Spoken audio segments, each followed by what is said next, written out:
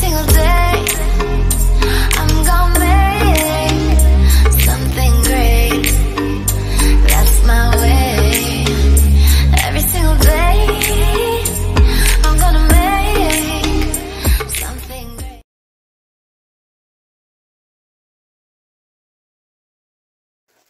Oi meninas, olha eu aqui de novo. Hoje eu vim mostrar, ensinar pra vocês como eu fiz o sapatinho de customizar num tamanho de 12 centímetros. Aqui, que eu tava ajeitando ele aqui, tá? Ó, tamanho 12 centímetros, serve de quantos a quantos meses? Isso eu não sei te dizer, porque é igual eu sempre digo nos vídeos anteriores. Isso vai depender de bebês para bebês, né? É, ó, aqui no canal já temos ele no tamanho RN, que é 8 centímetros, né? O RN eu chamo de, de 8 centímetros. Tem de 9, 10, 11, agora, agora te, vão ter o 12, tá? Então aqui pra fazer esse sapatinho eu precisei de um botão pérola, tá, meninas? Lá vai eu de novo carrego. Botão pérola, coloquei, mas você pode usar qualquer outro tipo de botão, adaptar a fivelinha, o que você achar melhor, ó. Tem aproximadamente uns oito, é, oito, tamanho, ó, não sei falar aqui como chama, tá? E a minha etiquetinha, quem faz é Cliques Etiquetas, aqui na descrição do vídeo tem o contato da Cliques Etiquetas, tá bom? Você vai precisar também de uma solinha, de uma solinha, de uma palmilhinha. Palmilhinha eu vou deixar aparecendo aqui em cima como você vai confeccionar a palmilhinha para estar tá colocando dentro do seu sapatinho. Eu vou usar a agulha 1.75, tá? E linhas de qualquer marca você pode usar, desde que seja 100% algodão, né? Para não dar alergia no bebê. E de tex, aproximadamente de tex 295 até 300, vai usar um fio. E usar dois fios, se a tex for menor, for 145 ou até 151. Aí você usa dois fios, tá? Pra dar a, como se fosse uma tex só. E aí o tamanho vai continuar o mesmo que eu tô ensinando. Aqui, ó, já estou, já estou com a solinha pronta, né? Solinha de 12 centímetros, já temos vídeos aí no canal, tá? Ensinando, eu regravei novamente essa solinha, então já vou deixar aqui o vídeo novo aparecendo para vocês assistir, tá certo? Já fiz a solinha, tamanho 12 centímetros, já passei na minha solinha também o ponto baixo relevo, tá? Para quem ainda não sabe fazer o ponto baixo relevo, eu vou deixar aparecendo aqui em cima para você clicar e assistir o vídeo de pontos baixos básico, né? Os pontos básicos lá eu ensino fazer o ponto baixo relevo, diminuição, ponto alto, tudo detalhadamente eu ensino fazer lá. Então vamos lá fazer a, o sapatinho de customizar tamanho 12 centímetros, que praticamente é quase a mesma receita do tamanho 11 tá? Então, eu vou iniciar aqui com três correntinhas, que equivale a um ponto alto, tá? Vou iniciar com três correntinhas e vou passar uma carreira de pontos altos. Eu já vou até dizer aqui quantas carreiras eu irei fazer de ponto alto, ponto sobre ponto. Serão três carreiras, tá? Então, eu vou passar uma, aí eu venho aqui, fecho na terceira correntinha, uma, duas, três, fecho com ponto baixíssimo, inicio de novo com três correntinhas, sigo fazendo pontos altos, fecho na terceira correntinha e assim vai. Eu vou fazer as minhas três carreiras e volto aqui pra gente continuar. Prontinho, meninas, fiz aqui as três carreiras de ponto alto, tá? Ponto sobre ponto. Lembrando que essa solinha termina com 84 pontos, né? E agora nós vamos fazer a próxima carreira. Essa próxima carreira vai ter diminuições, tá? Eu vou iniciar com duas correntinhas, que pra mim equivale como se fosse um meio ponto alto. Laçada na agulha, próximo ponto, um ponto alto, tá? Um meio ponto alto. Essa carreira vai ser em meio ponto alto. Eu vou precisar fazer 29. Já tem uma, duas, três, tá? Vou fazer os 29 aqui e volto pra gente continuar. Prontinho, fiz aqui os 29 meio pontos altos. Agora, irei fazer as diminuições. Serão 12 diminuições, tá? É, lá no pontos básicos, como eu disse no início do vídeo, eu ensino a fazer detalhadamente as diminuições, tá? Então, aqui eu vou fazer uma, duas, Vou fazer as 12 diminuições aqui e volto pra gente continuar. Prontinho aqui, meninas, ó, fiz as 12 diminuições. Agora, eu vou voltar fazendo aqui os 29 meio pontos altos, tá? Depois que você fizer o último meio ponto alto lá, você vai fechar com ponto baixíssimo dentro da segunda correntinha. Não fizemos duas correntinhas? Então, eu vou pular, é, contar primeiro e na segunda eu fecho com ponto baixíssimo. Eu volto para mostrar. Ó, prontinho aqui, fiz o último meio ponto alto, vou fechar na segunda correntinha. Uma, duas, fecho com ponto baixíssimo, tá? Agora, nessa próxima carreira, vai ser com ponto baixo e também terá diminuição. Então, eu vou iniciar com uma correntinha, que vale como se fosse um ponto baixo.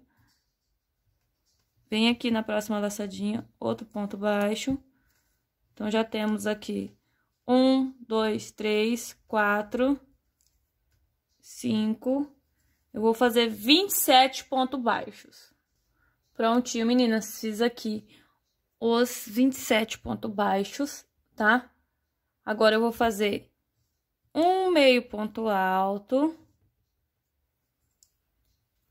Na próxima casinha, outro meio ponto alto. E vou fazer aqui diminuições em cima de diminuições. Então, vai, vai ser seis diminuições, tá? Eram 12, pegando em dois em dois, vão ficar seis. Então, eu vou fazer aqui uma diminuição. Próxima, outra diminuição, tá? Vou fazer as seis diminuições aqui e volto pra gente continuar. Prontinho, meninas, fiz aqui as seis diminuições. Agora, eu vou fazer aqui um meio ponto alto, no próximo, outro meio ponto alto, e agora sigo fazendo aqui os 27 ponto baixo, tá? Vou fazer até lá no final e fechar com ponto baixíssimo dentro daquela primeira correntinha que iniciamos, tá? Prontinho, meninas, ó, finalizei aqui com ponto baixíssimo, ó, vou até desmanchar dentro da primeira correntinha. E essa vai ser a última carreira. Também vou fazer diminuições. Então, eu vou iniciar com uma correntinha, tá? E vou fazer aqui 25 pontos baixos. Já temos aqui. Um, dois, três, quatro. Vou fazer as 25 e volto pra gente continuar. Prontinho, meninas, feito aqui os 25 pontos baixos. Agora, eu irei fazer aqui um meio ponto alto. Próximo, outro meio ponto alto. Em cima dos dois meio ponto alto aqui de baixo, ó. Tá vendo? Eu vou fazer uma diminuição. Uma diminuição. Tá? E em cima daquelas seis diminuições, eu também vou fazer diminuições. Então, se éramos seis e pegando de dois em dois, serão três diminuições. Então, aqui, ó. Um dois, três,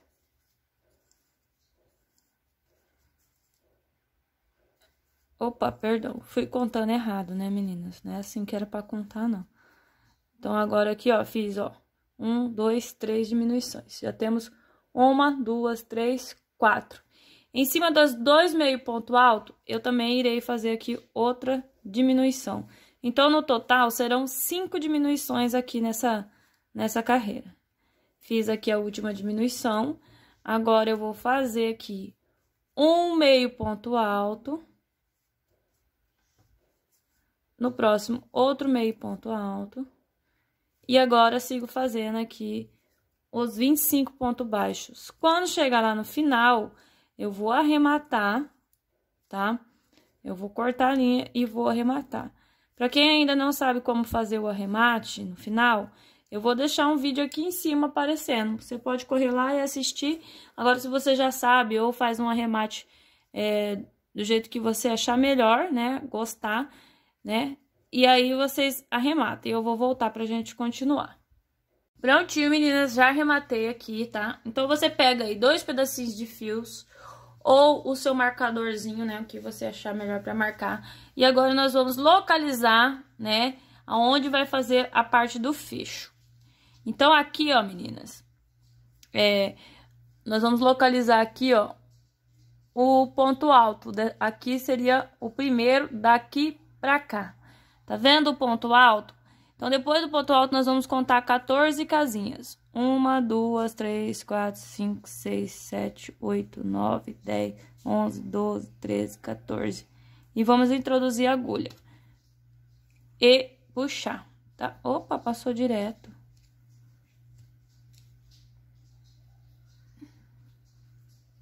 Passou direto minha marcação.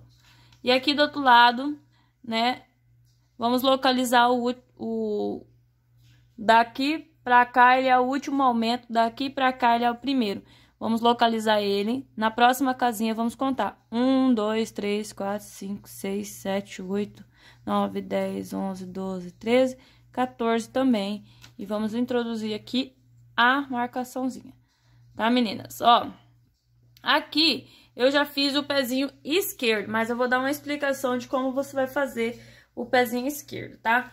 Então, você vai passar a laçadinha aqui na agulha.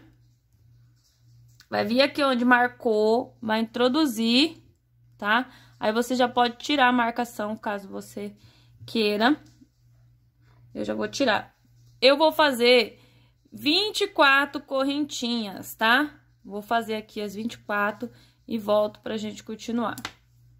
Pronto, fiz aqui as 24 correntinhas, tá? Se você achar que deve fazer mais, você faz mais. Se você achar que não, não faz, tá? Fiz as 24 correntinhas, eu vou marcar aqui a última, vou fazer mais três, vou dar a laçada na agulha, ó, um, dois, três, laçada na agulha, vou vir aqui onde eu marquei, ou no, no caso você conta um, dois, três, quatro, e aqui, né, é onde a quarta correntinha você vai fazer um ponto alto alongado. Esses pontos altos alongados passa tranquilamente o botãozinho de pérola para a mamãe conseguir regular. Então, eu vou fazer uma sequência de oito pontos altos alongados. Um, dois, três,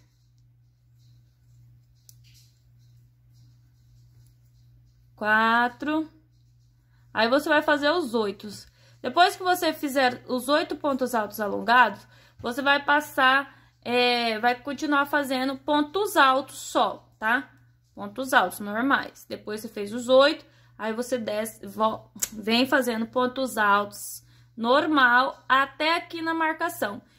Quando você chegar aqui na marcação, você não vai arrematar. Você já vai descendo, fazendo o ponto baixíssimo. Vai passar todo em volta. Deixa eu mostrar aqui. Desse aqui que já tá pronto, ó. Depois que eu cheguei aqui no final, fiz o último ponto alto, eu vou descer aqui, ó, fazendo ponto baixíssimo, tá vendo? E vou passar tudo em volta aqui na frente. Depois eu vou passar em volta todinha do fecho. Na parte do calcanhar. E vai arrematar ele bem aqui. Tá bom? Então, eu vou ensinar a fazer agora o pezinho direito. Esse aqui é o esquerdo, vou fazer o direito com vocês. A, linha já, a minha linha já está aqui, ó, onde iremos começar. Eu vou iniciar com três correntinhas que equivale como se fosse um ponto alto. E eu vou fazendo pontos altos até lá onde tá a nossa marcação, tá? Vou fazer o meu ponto alto aqui e aí eu volto para mostrar a parte do fecho. Ó, prontinho, cheguei aqui na marcação, vou tirar, tá? E vou fazer aqui o último ponto alto. Agora, depois que eu fiz aqui, eu vou fazer as 24 correntinhas, tá? Vou fazer o meu aqui e volto. Prontinho, fiz aqui as 24 correntinhas, tá? Vou marcar aqui a última, eu vou fazer mais três. Um, dois e três. Laçada na agulha. Vou vir aqui onde eu marquei, ou contando de daqui um, dois, três, na quarta eu vou fazer o ponto alto alongado, tá? Então, aí eu vou fazer a mesma coisa como se fosse do pé, do outro lado do pé, né? Então, eu vou fazer aqui os oito, ó, minha linha veio, essa linha rosa tá toda assim, ó. Toda vindo com esses lombinhos de, de linha. Aí, eu vou fazer aqui, ó, os oito pontos altos alongados. Opa, dei laçada demais aqui. Já fiz Já fiz só um, dois, três. Vou fazer os oito aqui e volto. Prontinho. Fiz aqui os oito pontos altos alongados. Agora, eu vou fazer pontos altos em cada correntinha até chegar lá na última correntinha, tá? Eu vou fazer o meu aqui e volto pra gente continuar. Prontinho, meninas. Fiz aqui o último ponto bar alto. E agora eu vou fazer o quê? Vou fechar com ponto baixíssimo aqui, ó. Vou virar o trabalho assim, né? Olha lá, fecho com ponto baixíssimo. E agora, daqui mesmo, tá, meninas? Depois que eu fechei com ponto baixíssimo, daqui mesmo eu já vou passar o ponto baixíssimo todo em volta do meu sapatinho, tá, ó. Isso aqui é para dar uma, uma firmeza mais no sapatinho, tá? Não acocha muito, não aperta muito, vai com calma, fazendo todinho o ponto baixíssimo. Vai fazer a mesma coisa do outro lado, vai passar tudo aqui na frente, vai subir aqui, vai passar aqui na parte do calcanhar, e vai passar tudo em volta aqui do fecho, e vai arrematar aqui. Vou fazer o meu, aí eu vou arrematar e volto aqui pra mostrar pra vocês. Prontinho, meninas, ó. Passei aqui o ponto baixíssimo, né? Em volta, já coloquei a palmilhinha lá dentro. Agora, eu vou pegar a misturinha. Essa misturinha, meninas, é pra moldar o sapatinho. Ela não serve pra endurecer o sapatinho, nada disso. É só pra moldar, deixar o sapatinho mais alinhadinho, os pontos mais arrumadinho, tá? E o que que é essa misturinha? É simplesmente água e amaciante, tá? E aí, às vezes, eu coloco álcool, mas já tem um bom tempo que eu não uso álcool na misturinha. Então, só água e amaciante. Se o seu amaciante for de cor, procura pôr pouco, tá? Assim, de olhômetro, né? Eu coloco bem pouco, só pra dar um cheirinho mesmo no sapatinho. E aí, eu vou umedecer aqui o meu sapatinho. Umedecer não é encharcar o sapatinho todo, molhar ele todo. É só dar uma leve umedecida, tá? E eu vou moldar aqui, ó, já umedeci ele. Primeiro lugar que eu moldo é aqui a solinha, né? Com o desenho da palmilhinha que tá lá dentro. É, eu faço isso aqui, assim, ó, muitos de vocês já, já devem ter visto, né? Depois que eu arrumei aqui, eu vou arrumar o restante do sapatinho. Ó, tô, eu puxo devagarzinho os pontinhos só para eles se alinharem, tá? Não é com uma, uma força, uma brutalidade, não. Ó. Aí puxo aqui também, né? Assim. Aqui assim. E aí aqui a parte da frente eu arrumo assim, tá? Apoiando na minha mão. Então eu vou moldar o meu sapatinho aqui e vou procurar onde foi parar o botão pérola. Pra mim tá pregando aqui, mostrando pra vocês como que é que eu prego o botão pérola. Ó, Prontinho, já moldei, tá? Ele. Aqui é o botãozinho pérola. vou passar um pedaço de linha aqui dentro do buraquinho. Assim. Aí, agora eu vou amarrar ele aqui, ó. Ó, vou pegar a agulha de crochê pra me auxiliar. Tá vendo aqui, ó? Eu vou vir entrar aqui na segunda casinha. Aqui, ó, do ponto alto, ó. De dentro para fora. E vou puxar minha linha aqui. Essa é a direção que eu coloco os botão pérola. E os botão outro, se fosse de camisa também. Aí agora aqui, ó, entrei embaixo, né? Agora eu vou entrar aqui na lateral. E vou amarrar. Gente, eu amarro assim, ó, normal mesmo, tá? Com nozinho. Porque esse, esse nozinho, eu sempre digo que depois quando puxa aqui assim pra botoar, meio que ele entra pra dentro tá? Do crochê, ele não machuca o bebê. Quando você amarrar o seu aí, você pega e passa o dedo assim pra você ver. Você não vai sentir o nozinho. Aí eu corto. Tá? Ó. E aí eu passo aqui, ó. Faço o botão, a mesma quantidade que eu deixei do outro lado. Deixei três pontos altos alongados. Introduzi o botão. Aí, ó. Aí aqui, meninas, está pronto o sapatinho de customizar tá? Para colar a etiqueta, eu colo com cola de silicone. Para colar a etiqueta, eu uso cola de silicone. tá? Cola líquida. E aí, cola a etiqueta. Gente, esse sapatinho de customizar, ele é maravilhoso para você colocar qualquer tipo de aplique, tá? É, se caso você queira costurar os apliques, eu vou recomendar essa linha aqui. Eu tô usando essa linha aqui agora, que ela é uma linha tipo nylon, assim, meio transparente, ó. Você consegue costurar a peça e ela não, ela fica invisível, tá? Ela é uma linha, ó, assim, ó. O nome dela é invisível mesmo, ó. Tá até escrito aqui, ó. Tá vendo? Ó, invisível. E eu comprei essa linha para costurar as pérolas no laço.